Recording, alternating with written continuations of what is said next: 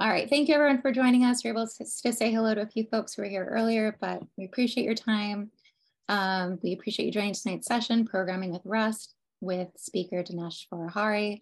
Uh, my name is Carrie Williams. I'm the Communications and Information Officer here at Extension, and I'm joined by my colleague, Jim Kostecka. Jim is our Program Manager for the Engineering and Technology Department. Danesh, do you mind going to the um, agenda slide just so we can take a quick look? okay, thanks. So we're planning on about 45 minutes tonight, and we do have a lot we're excited to share. And of course, we want to leave time to get to your questions. So we're going to take a quick look at the agenda. You have a sense of what to expect tonight. Um, we'll do intros. We're going to talk about the history of Rust and how Rust compares to other programming languages. We'll take a look at benchmarking data. Um, and if time allows, we'll try to run some sample code. And of course, then we're happy to open the session up to your questions. Um, we do have a few very quick housekeeping items, and then I'll officially hand things over to Danesh. Um, once we kick things off, if you wouldn't mind adding your questions to the Q&A, um, Jim and I will do our best to either answer them on the spot or we'll save them for the end of the session and make sure Danesh, has a chance to take a look at them. If for whatever reason we're not able to get to your questions tonight, or if you think of something later, you can always email us at extension at ucsc.edu and we'll go ahead and put that in the chat for you. Um, and we are recording tonight's session. So be on the lookout for our follow-up message in the coming days with a link to that recording. So with that, let me introduce our speaker. Leading us tonight is Danesh Forouhari. Danesh is a Python instructor here at Extension. He comes to us tonight with over 20 years of experience in software develop in the software development industry. So we are in, we are in expert hands tonight. Uh, Danesh, the floor is officially yours. Uh, thank you, Carrie and Jim. Good evening, everybody. Uh, thank you for attending the session. Uh, I know it's late uh, after work day, so everybody's probably tired and wants to go eat dinner and other things. Uh, so it's uh, greatly appreciated that you have taken precious time, uh, personal time to attend the class. Hopefully it, it, it's of use and value to you. Okay, this is me and uh, the highlights that Carrie uh, mentioned. Uh, uh but again, uh, we won't worry about any of these. There's not much of a data in there. But like most of you, I started as an individual software engineer many, many years ago, doing Unix kernel work. And one thing led to another and another and another, and I ended up uh, in different big and small companies. And uh, I've been teaching at UC Extension now for about two years uh, or more even. Uh, I believe uh, 2020, uh, when COVID started, I started teaching in here. And what I teach is Python for programmers. All right, so um, this first slide is something that might help you to get a better feel where Rust came from and how many years it has been around, and so on and so forth, uh, just in case. Uh, so it started in 2006 as, as a personal project by a Mozilla org engineer by the name of Graydon. And that was his own personal thing that he did. Graydon uh, expertise shows, uh, or projects that he has worked on are mainly compilers like GCC and others. So he was working on this uh, and on Rust, uh, being frustrated by, by the memory safety issues that C++ has. And I guess one thing led to another. He tried to create a language to address those frustrations that he had. And that was beginning of uh, Rust. Then uh, at one point in 2009, Mozilla.org decided to sponsor the project, put effort and engineering uh, person hours in it, and the first release was done in 2015. So uh, as you can tell, uh, this language is relatively young language. Uh, C++ has been around forever. Uh, uh, and Java has been around since 1995. Uh, so uh, Rust is a uh, relatively new language. So as things were going on in Mozilla.org, things were fine until uh, 220, Mozilla decided to lay off a bunch of people, and that included lay off the Rust developers. And that unfortunate event resulted in 2021 uh, to for folks to create a Rust Foundation.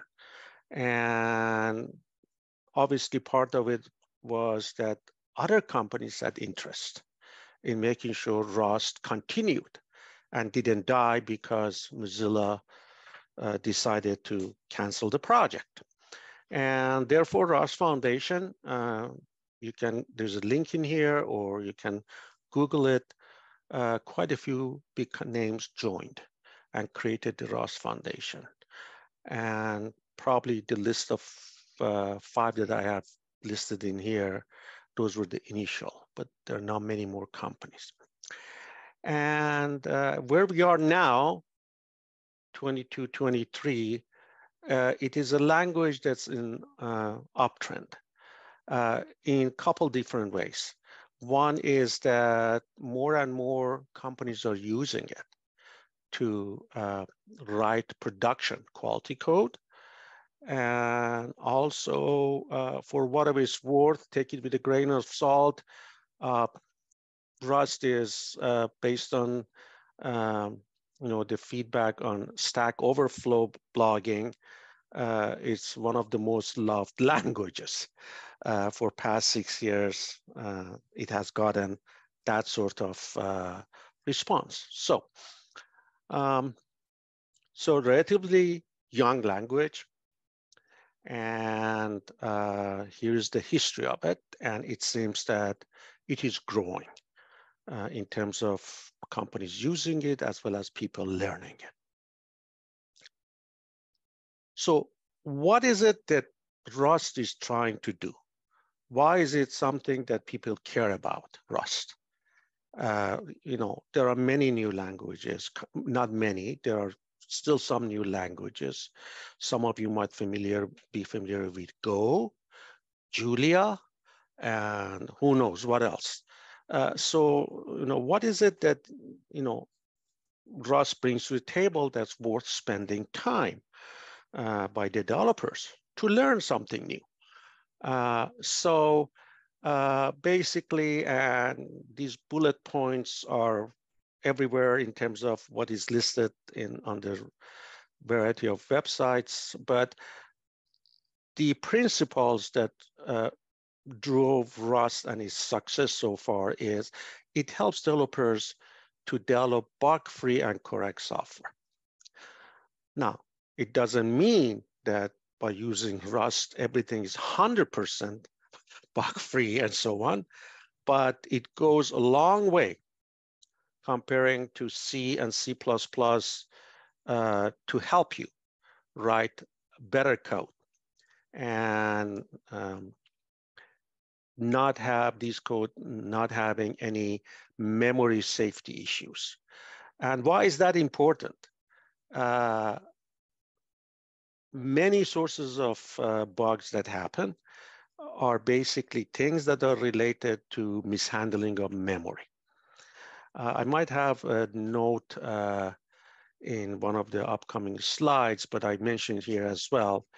Uh, Microsoft and Google a few years back did a analysis of the bugs in their software products. And each one of them claims as they analyzed 70% of the bugs that they had reported and fixed in their code had to do with memory issues. So now, I wasn't there obviously to make sure what I'm saying is the case, but that's what they believe, that if they had a language that would help to write a better uh, code that would prevent some of the memory safeties uh, at the compile time, then in the execution time, it would be a better uh, environment to run. So that was that. And as you will see through some code examples, a lot of these issues, including data races that could happen uh, due to threads accessing something, these are detected at the compile time. Doesn't you don't have to worry about it uh, because during the execution, because Rust, the way that it is, and by that I mean the fact that it's a statically typed language, you must declare every entity that you use in your program objects, and it's a very strict type checking that it does. It helps quite a bit during the compilation, take some of the issues that would end later on during the execution would uh, could cause you know all sorts of bugs. And it does all this uh, not at the cost of performance degra degradation during the execution. Some people might think, okay, it puts all the bells and whistles in there. So during the execution, these bad things do not happen. And therefore, perhaps the execution time is, performance is, gets degraded. That's not the case. That's not the case at all because it catches all these most of these things that it can during the compilation, not during the execution. And uh, the other thing is that uh, while languages like Java and C++ do garbage collection during the execution to get rid of unused memory, that is not necessarily a good thing if you have a real-time system that cannot you know, get impacted because garbage collection under the hood comes alive and does work and still CPU cycles, Rust does not need any garbage collection. It doesn't have any. and that's another beauty of the language.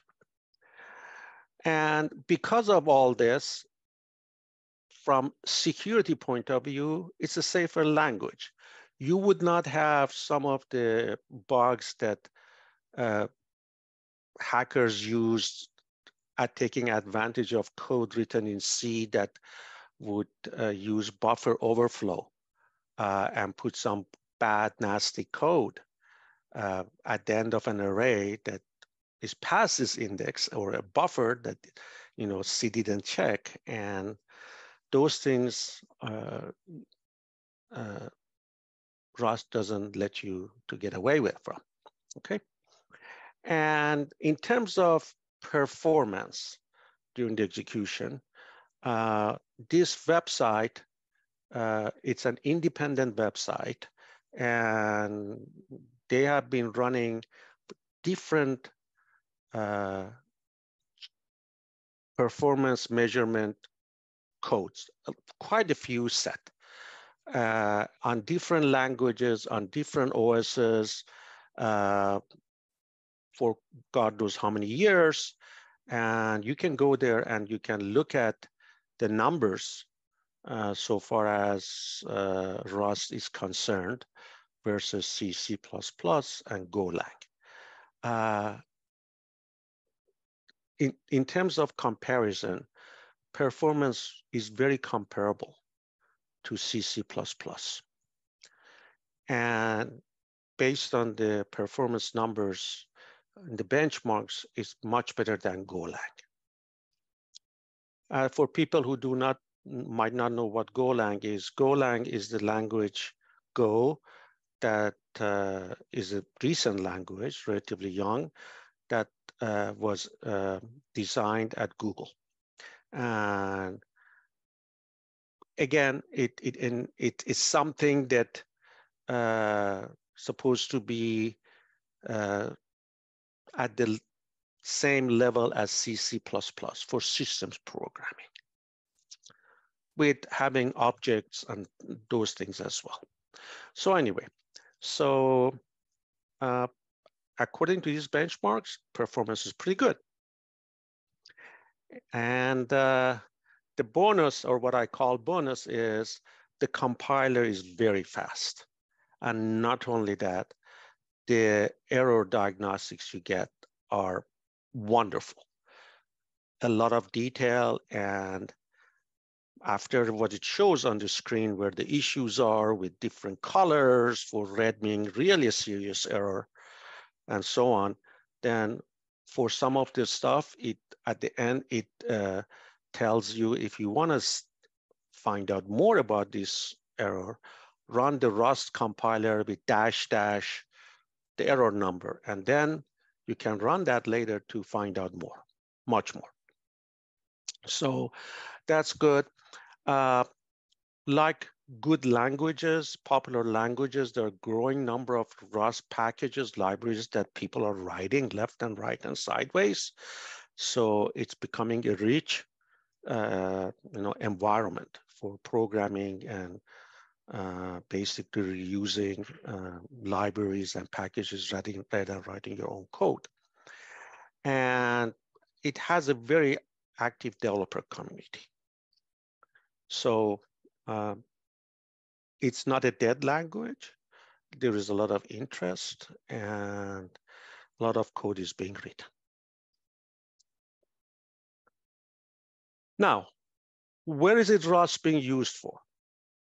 For what kind of programming? Uh, as I said, uh, the frustration that Graydon had with C++, which is used for systems programming as well as other things, uh, led him to start playing with Rust. By the way, Graydon apparently is now works for Apple, and he is a supposedly the developer of Apple's programming language Swift, uh, which makes sense. This Graydon it seems is into designing languages and compilers and all that. But anyway, where is Rust being used? Uh, as of end of last year now, uh, it is the only other language than C that now is allowed to be used to implement portions of the Linux kernel. That's a huge thing. Uh, for all these years uh, that Linux kernel was, uh, you know, has been around and being modified, the code was always in C. Now, it seems that uh, uh, Linus has decided that it's okay to write some of the functionality in uh, Rust. Also, in latest Android uh, operating system release from Google, claim is that 21% of the new code is in Rust. And until that, it has been C, C++. So it is, as you can see, these are two cases where very significant operating systems are being partially written in Rust. That's a lot to say for Rust, okay? Uh, in other types of programming, it seems that you can even do web development in Rust, but you gotta do it in the contents of uh, WASM or WebAssembly. Uh, which is an interesting mechanism that's being used quite a bit to run things in web browsers. Uh, and it, it's not just for Rust, it's, it's a framework.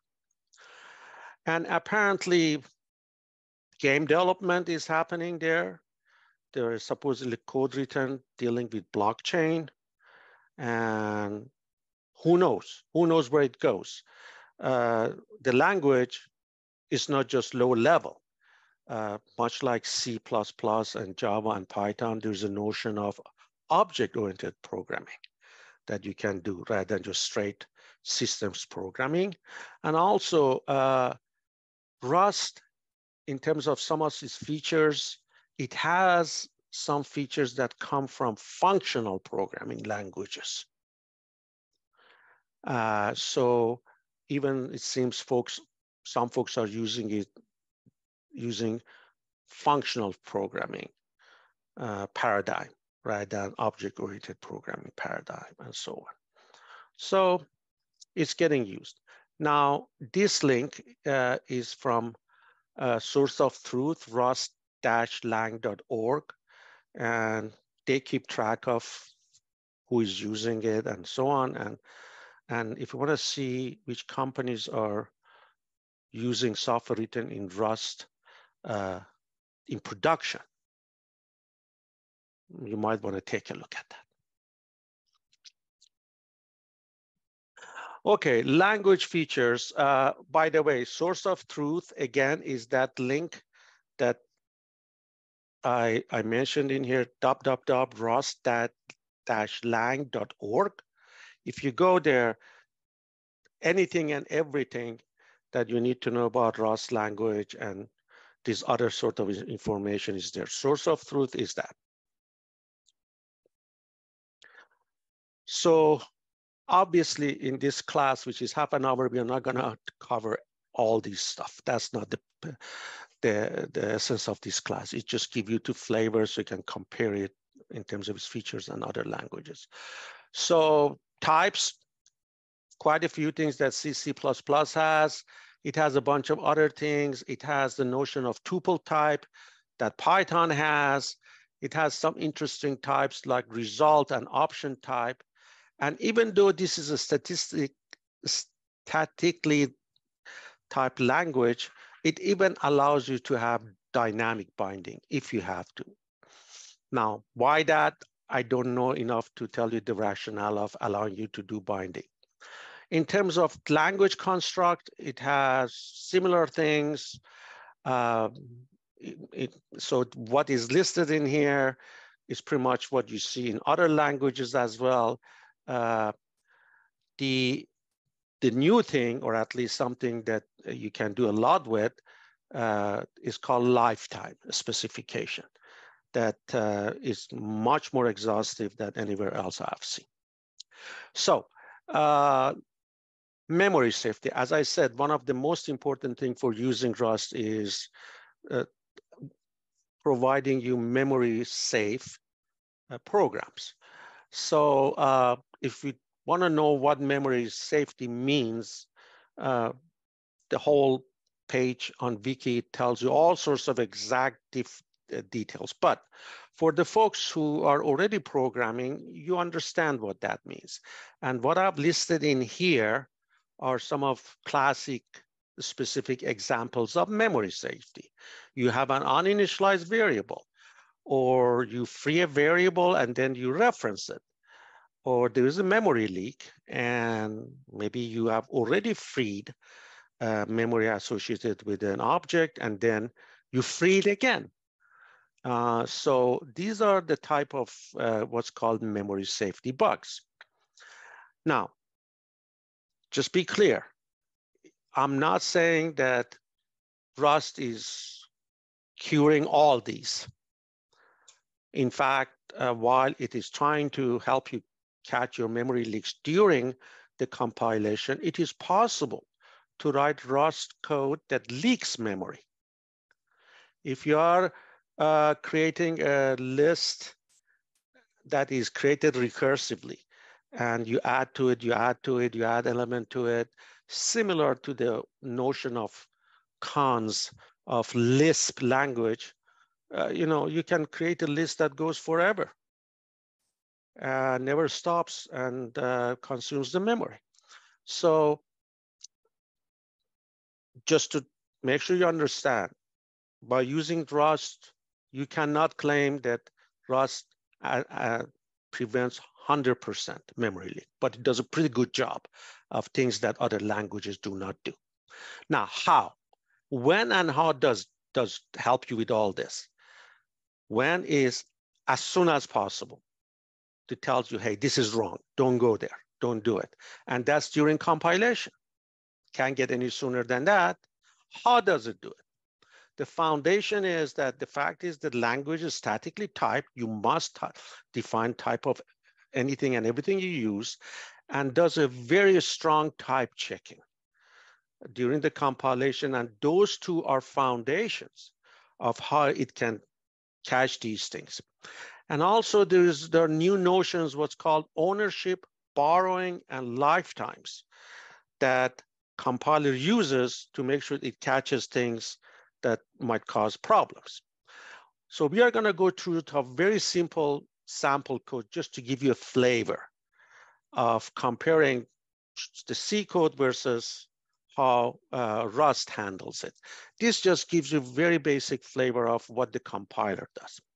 On the left-hand side, uh, it's very simple uh, C code. There's a loop that goes through and tries to multiply numbers one through five and print the product. As you can see, we never initialized variable prod to one, but C compiles it and lets you run it. Whereas in on the right-hand side, this is a piece of real Rust code. When you do this, it tells you. It tells you exactly like what I put in here. Tells you where the problem is and says, you know, this is uninitialized. And boom, such a simple thing uh, helps have better code. Uh, bound checking, array bound checking, and this is really important because again, this was the foundation of what was called buffer overflow uh, that uh, some folks use to inject bad code. So on the left-hand side, we have an array, static array, and it has it's been initialized to five values. So the size of the array is five elements. So it doesn't make sense to refer to the seventh element. There is no such thing. You're pointing to some memory location past the five memory storage that is array. But some, um, compiled in C, no complaints. In uh, Rust, it catches it. And the error message that you see is exactly what you get. Tells you, hey, this is wrong.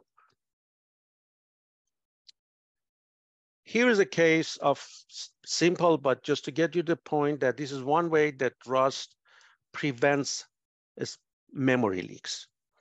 Uh, on the left-hand side, I have a, a C function that allocates dynamic memory, malloc, uh, from the heap, not from the stack, and you get a pointer back to that location in the memory, in the heap. And then you can do things to it, put a value in it and do other things with it. And in here, you have allocated memory.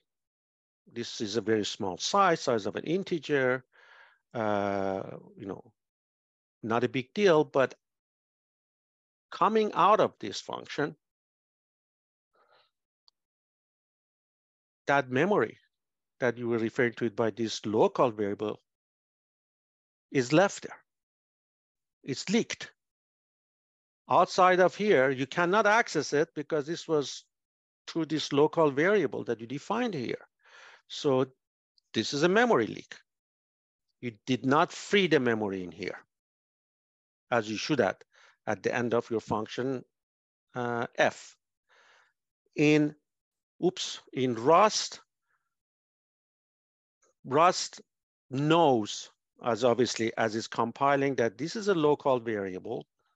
And when it knows that that variable is going to go out of scope, it automatically adds equivalent of, it adds this call, drop, which is equivalent to C's uh, free function call that's supposed to use freedom memory.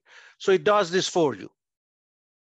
As soon as you, uh, you know, execution gets out of uh, function F, because during the compilation, put the code in there says, okay, this is a local, it's gonna go out of scope. I'm just gonna freeze memory. Here is another example of uh, what uh, we would call a dangling reference.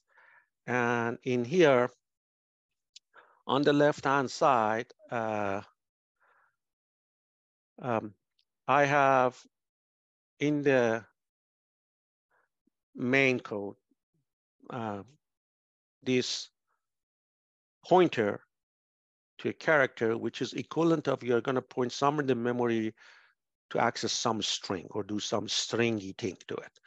So here, S is a pointer points to a copy of this string testing somewhere in the memory. And then you come along and you free what S was pointing at. And after that, you should not use S. S supposed to be gone. You cannot count on it pointing to a valid memory location. Yet, if you access it here, no complaint. It compiles happily. Whereas in Python, you will get this. The, the, the error message might be cryptic for you, says value borrowed here after move. What the heck does that mean? And uh, two things. One is that if you compile this, you will get some other informative messages that I just couldn't put here because this is one slide that do not have a lot of real estate. And the notion of borrowing would make sense to you once you know about lifetime and borrowing. Here is another example of what compiler helps you. On the left-hand side, the C program, you have an unsigned 8-bit integer. And you initialize it to 200. And then if you do something like this, this, it goes beyond the representation of n, which can have only up to and including value 256. So in here, Rust catches us. And he says, hey, you are typecasting this with this, and the way that it does is typecasting. It doesn't. I mean, in here, you typecast things and all is well. Uh, this gets typecasted and this is okay, but in here, it doesn't let you even go there the way that uh, it, it requires explicit typecasting. It says, no, you cannot do this uh, because it takes this 71 and typecasts it to unsigned eight and n is unsigned 8. And because of n being an unsigned 8-bit, 71 is turned into unsigned 8-bit. Therefore, it says, oops, this can't happen. You cannot have value 271 as an unsigned 8-bit value. So it doesn't do these things. Uh, it expects you to do explicit typecasting and things like that at times might cause issues. And this is, well, not a big deal, it might not happen in, in a lot of code. Here is on, on, on this side, we have a piece of C code. And the, after the return statement in, in here, I have a call to function two. As you know, in any language, once you hit the return statement, you get out. You go out to the caller. So this function two is never reached. This call is never made. Compiler Rust tells you, it says, hey, watch out. It, this, this is never, ever gonna get executed. Okay, so in uh, Rust, there's a notion of lifetime. And this one line is from source of truth. And every reference to any object has a lifetime. And the lifetime is the scope uh, in which that object is valid. You can access it, reference it, as so long as you're in that scope. And um, some of the implicit or inferred lifetimes exist in other languages. The thing about Rust is that it allows you explicitly define lifetimes as you see fit to make sure that you know what should be available. Uh, and no doubt that it's not after that scope and so on. So basically with lifetime, you tag, and I'll show you an example of how I tag, and you use this tag to define the scope of the lifetime. And if you put it in the right places, then you are giving hints to Rust that, hey, this is the lifetime of all these variables that I've tagged within this time frame. Keep them around, make sure they, get what they, they need to do. And, uh, you know, once they're out of that lifetime, the color of the code, then they cannot access anything. You would not have any issues of uh, uh, having memory that stays there without even being used and so on. Now, lifetimes, you already know. When you get into a function call or a procedure call, uh, things that local variables and so on that get into the stack portion of a, a function call frame, as soon as you're done with the execution of function, those things go away. So this is you know, implicit. You don't have to declare it. That's how other languages work. And as I said, in Rust, all that is doable, but you can also explicitly define the lifetime as you see fit as well. Now, will this uh, memory safe ownership uh, and lifetime uh, and borrowing, all these go together. So uh, I'm gonna jump around a little bit through different next few slides, but bear with me.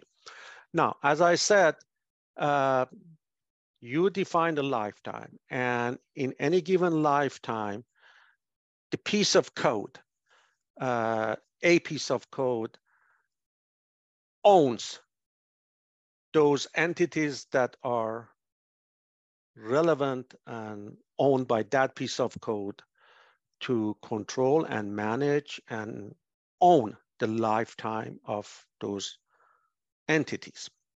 And that way, once the execution of the code is out of that piece of code, then Rust deallocates everything clean under the hood. So you don't have to worry about any memory safeties of that issue. Uh, to get to the point, of what what lifetime is, and it's a little bit subtle uh, concept. So uh, bear with me. So here, this is Rust code now we are talking about on the left-hand side. We have a structure representing uh, coordinates of a point uh, in two-dimensional space, x and y. x is uh, integer 32-bit, y is a y coordinate 32-bit. And in here, uh, we have a function, print coordinates, and you pass to it an object of type coordinate, and it prints the x and y coordinates.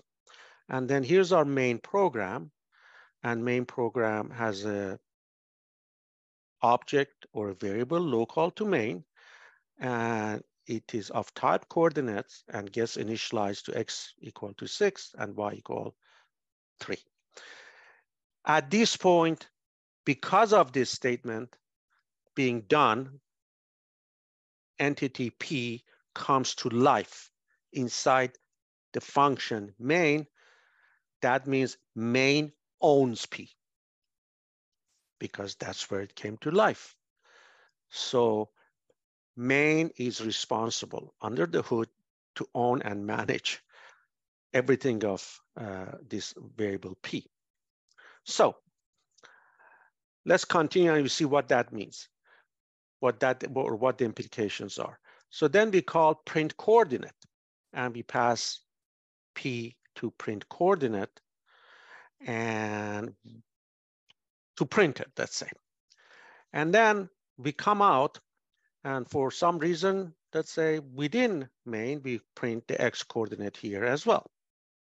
Now, if you try to compile this, it would not compile. And here's what the compiler tells you on the right-hand side. And all these useful uh, messages are with what another example of how good error messages are in, in Python. But uh, it might be a little bit cryptic to you that says this value borrowed here after move. What the heck does that mean? Here's what happens. So P is owned by main if I pass P into another function, then in effect, I'm giving the ownership of P to this other function.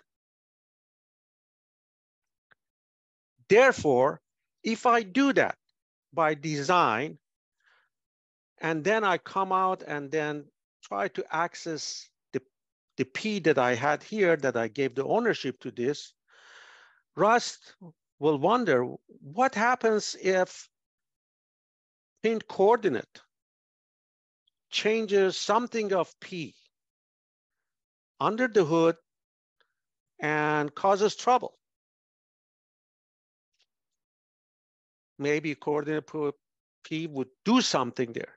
Therefore, at that point, since P is passed to print, uh, print coordinate, P is now owned by print coordinate.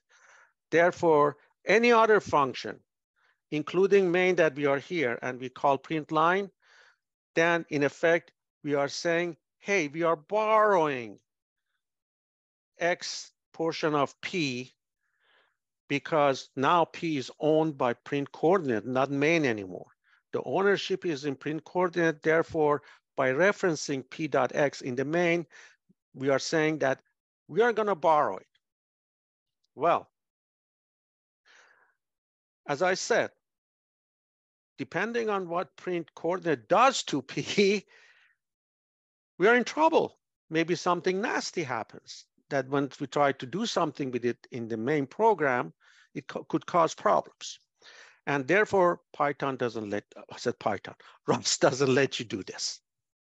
And that's what it says, hey, this reference, you are borrowing something that's owned elsewhere, and that thing that's owned elsewhere is P, which we gave its ownership by passing it directly to this call and therefore print coordinate owns P. So one question is, okay, how can I get around this? This, there's, there's at least one way to get around it in the right way. But this is strictly type checking and make sure that something that is owned by a piece of code is truly maintained and monitored by that piece of code. And once you're outside of it, it doesn't let you to do things that could cause problems. So in general, ownership, just to summarize it, it what happens, it only allows a single binding of spatially any heap allocated memory at the same time. Memory de deallocations happens, all good, because it knows where the, how much the lifetime is. And also the fact that it knows that how, how long something is alive and it's gone, it doesn't let somebody to uh, take something that's already deallocated and do things with it. Now, having said all these things where there's a single owner for any object, a single owner being a single piece of code owning an object, it is possible to have multiple owners. That is doable, but you have to use certain type of pointers called reference counting pointers. It, otherwise, it wouldn't let you. So if there are cases like that, you have to use this construct. Now, back to our coordinate program, the way that we passed entity P to print coordinate, print coordinate became the owner of P, but that caused us trouble in main because we couldn't do a p.x. How do you prevent this happening? What you do is instead of passing the object P itself, which is whatever it is, we pass ampersand P. Now, be careful, uh, C, C++, and possibly Java programmers. Uh, ampersand P looks like passing or call by reference, if you know what I mean. That's not quite that. What it is, is in Rust, it takes address of this object P, puts the address in some other location and passes that location to print coordinate. Why that is important? Because in other languages, when you pass a reference to an object, you are allowed and you can easily change the value of whatever that P is pointing at because reference means address. In Rust, that's not what it means. It just takes the address of that object, puts it in another memory location, and passes that memory location uh, to Rust. So if you coming from those languages, that means you can modify things inside P? No, by passing a reference. The only thing that it does when you pass a reference from here to somewhere else, that means that it tells Rust, hey, you still maintain the ownership of P. If you pass a reference to an object, main still owns P. Therefore, still owner, and this passing just a reference guarantees that print coordinate does not own it, cannot mess around with it. So once you're back in here, you are safe and sound that p.x is good. Now, as I mentioned in uh, Rust, you can uh, explicitly uh, define lifetime of some objects. And that is something that you can't do in other languages. So uh, let's look at this Rust code on the left. Uh, I have in the main uh, two strings, phi and pi, and I'm calling shorter to tell me which one is the shorter of the other. Something simple. And here is my shorter Rust function. Uh, S1, first parameter type string, that, and in uh, Rust, this is the this is the syntax that you specify what type of value is returned as a result of the function call. So you have this, looks easy, nothing, but here is a uh, Rust's problem with this piece of code. This local variable, shorter string, the way that this is written, depending on whether you go through the then part or the else part, it gets a value of S1 or S2, right? Now, sitting within here, you do not have any clue what the scope of the arguments, actual parameters that are represented by S1 and S2 are. Therefore, how does it, Python needs to know what the scope of this thing is to make sure it's a kosher, valid scope. Should it be the scope of S1? Should it be the scope of S2? And this main program doesn't show the justice because both string one and string two are in the same scope. But you can imagine a, a, a, function like this could be called in any parts of different programs with different variables, where they are coming from, who knows what the scope of those things are. So it needs to make sure that it knows what this, uh, what should be the scope of the good scope for uh, making sure short string has the right scope and all works well. And here is the definition of how you define a scope using a tag. In here, I'm saying, first of all, this, this pink thing, thingy is the syntax. I'm defining a scope, ugly looking syntax, but what can I say? And in this syntax, the name of the tag for the scope is A. So I'm saying the scope of anything in this function is this, and use that as the same scope for this and this and this, and this is what returns. So this guarantees that you know, from compiler point of view, everything is tight. We know what the scopes are, and depending on who calls us, we don't shoot ourselves in the foot. Now, the good, the bad, and the ugly is matter of your opinion. Uh, but the good is a safer language, compiles fast, good diagnostics, good runtime performance. You can call C or C++ libraries from or code from uh, Rust, but you gotta be careful. Those languages are not safe. So when you go through what's called FEI, foreign, I forgot the E, interface, foreign environment interface, calling these things, it tells you this is unsafe.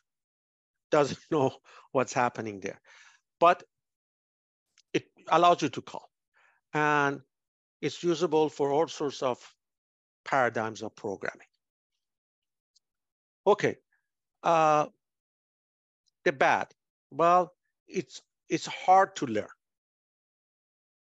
and that causes frustration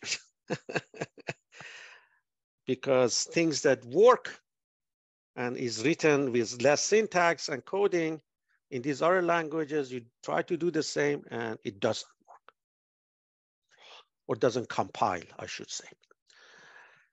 And the semicolon um, in this language, for most part, it, it works what you think it works, but there's a flavor of use of semicolon that you, are allowed not to have your statement followed by semicolon. But what happens, the effect of that is that that statement becomes an expression and that expression is uh, returned um, as a call of your function call. Let me see if I have, no, I, in here, I, I do a return. Let's say I didn't have this return statement. If I did not have the return statement, and if I didn't put the semicolons in here, then it would return either this or this or this if you didn't have semicolon, it says, okay, I'm going to return one, you know, which one I'm going to. But anyway, so this is something to be careful of. Uh, not a big deal, but it's important. Now, I don't know what else is bad. You can ask different people, you get different lists. Uh, the ugly, uh, there's a steep learning curve. If you are going from C to C++, not bad. C++ to Java, still tolerable. Uh, but that's not quite the same. It has some new features that you got to get used to. It's a rather verbose language, even for if statements where you have single statements in that if part, then part, else part, you must still use brackets. Uh, there's some strange looking syntax. And as I said, naming macros, uh, uh, uh, naming um, tags for uh, lifetime, it's weird looking. And also macros. Here is print ln, bang. Anything that ends in bang as, is not a function, it's a macro. I don't know why they had to do this. And the other thing is uh, print line looks like a statement print line from Pascal, which literally had print ln. Yet the syntax of this thing is borrowed from Python. So, hmm, what can I say? And there are other things. Uh, there are two types when you deal with strings. One, as I've done in here, and another one is in here. So there are these things that you're not used to, and it's going to be a little bit of indigestion. And finally, this one last thing that I don't like, but there's a valid explanation for it. Take a look at this function. Uh, this statement inside F1, we are defining a local uh, object or variable, and we haven't talked about box type and all that, but effectively this is equivalent of a malloc that you do in C, C++. So in those languages, the way that the syntax is, you get a pointer back.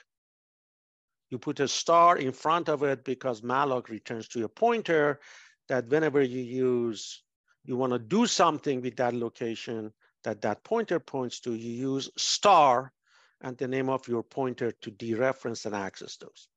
Okay, so this is Rust. And I do something very simple. I have this variable, and again, right-hand side is equivalent of a malloc. It goes and locates some someplace in the heap, and we pass to it this value formal parameter n, which is an integer.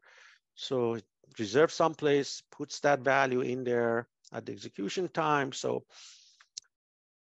simply one way to look at it, if you compare it to malloc, say, oh, okay, this is a pointer. But look what happens here. I print in P and star in P. And I get the same value.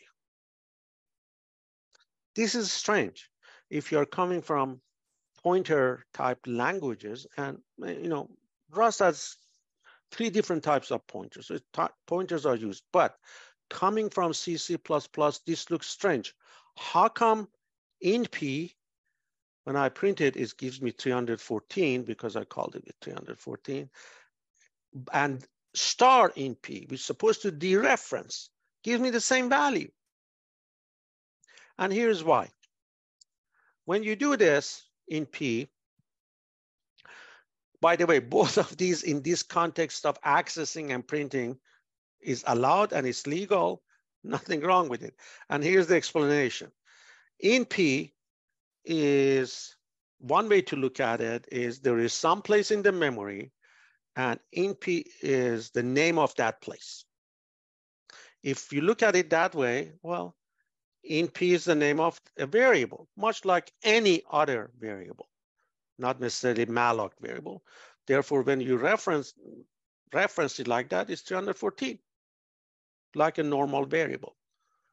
At the same time, we know under the hood, this is in reality a pointer to a location in the memory. And if you look at it that way, this is valid, dereferencing the pointer, which goes to the location where 314 is. Therefore, both of it are valid. And to me, this is ugly when you're coming from one language, but there is an explanation for it. And it's not a compiler bug. Okay, I think we're at seven o'clock. I believe that's the last slide uh, of the deck, I think. And let me see what else we have.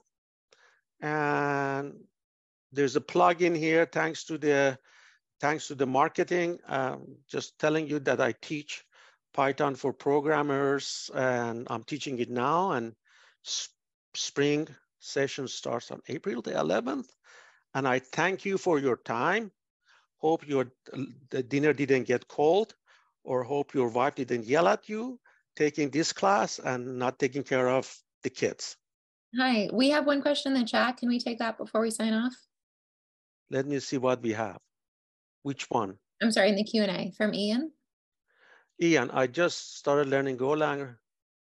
Well, uh, again, uh, Ian, if you look at that link uh, where, or you can Google and find others, that place performance is much better than Golang from what they have listed, uh, which is significant, that is.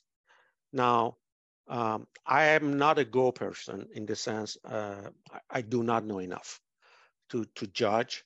Uh, it has its merits no language is perfect. So uh, you got to pick and choose.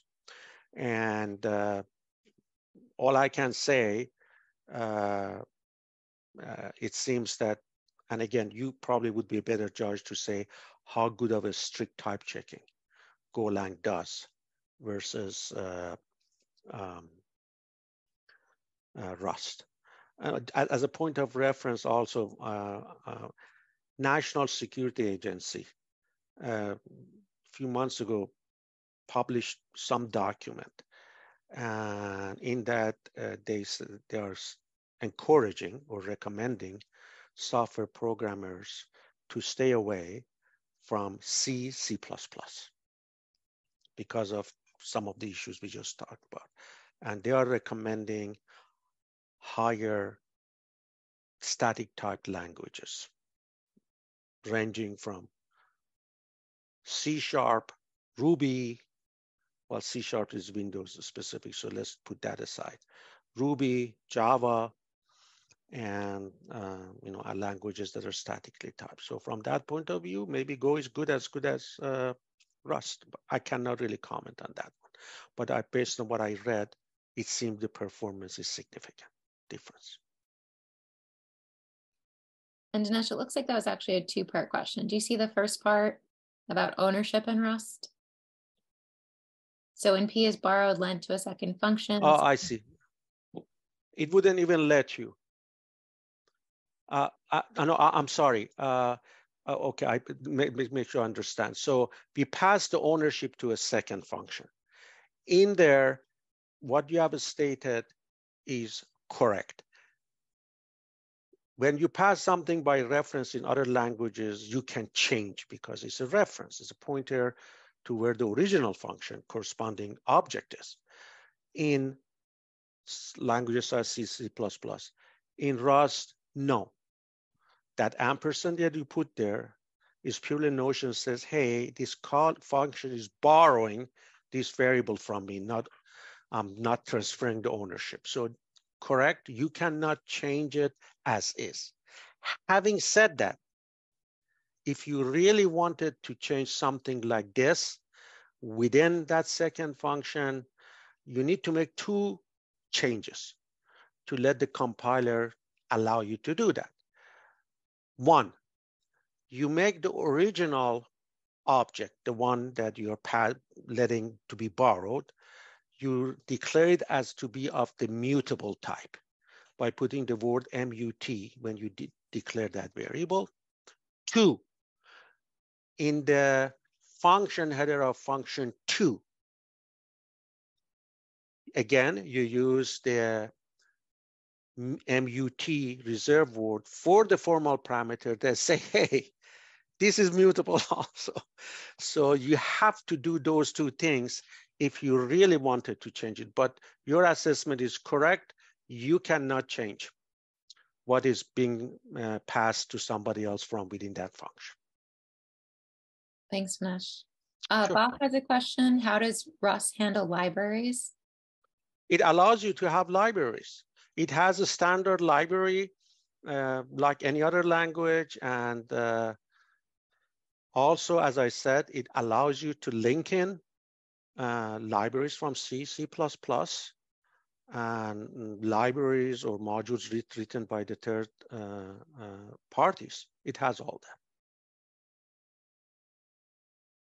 Great, thank you. Uh, David, great question. Uh, yeah, the certificate program in computer programming uh, has a, a, ton of fundamental classes. So if you want to study C, Java, C++, Python, um, if you want to get a good fundamental understanding of programming in various languages, or if you want to focus on one, uh, for example, you could take Python all the way from beginners through intermediate into uh, advanced and data structures. Uh, so yeah, it's a great program to learn the fundamentals and even specify or specialize in a particular language if you want to. Uh, Jim, I don't see any other questions in the Q&A, do you? Okay. All right, Danesh, any final words before we sign off? Uh, I hope this was uh, worth your time and uh, good luck uh, if you decide to go with Rust or otherwise. And thank you for attending. Yes, we want to thank you all for being here. We did run a little over, so we apologize, but we did have a lot we were eager to share. Um, just a final reminder, this is being recorded, so we'll have this recording um, polished up and ready for you in the next few days. And we'll be sure to include some extra links to what you saw tonight um, as well as contact information if you have any follow-up questions. So thank you for being here. Take care. Good night.